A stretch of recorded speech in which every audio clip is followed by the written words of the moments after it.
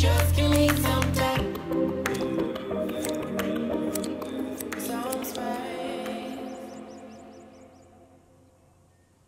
pretty hot, actually.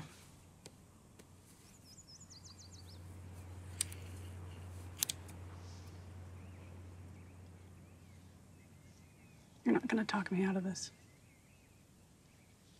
Yeah, I know. That's why I'm coming with you. Stop. You know, I've only been to New York City once. It was on my seventh birthday. All I wanted was a soft pretzel, one of those horse and cart rides through Central Park. It's lame. I was seven. I got taken to see cats.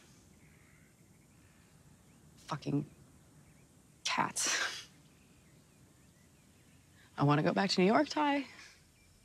I want to go to New York with you, and I want to buy you a fucking soft pretzel, and I want to take you on a fucking horse and carriage ride through Central Park. And I know I don't have to come with you. I need to. I'm not gonna die out here without at least trying to get there. You know, and who knows? With you as our fearless fucking leader, we might actually make it. Hey, Hey, we've talked and we're coming to, okay?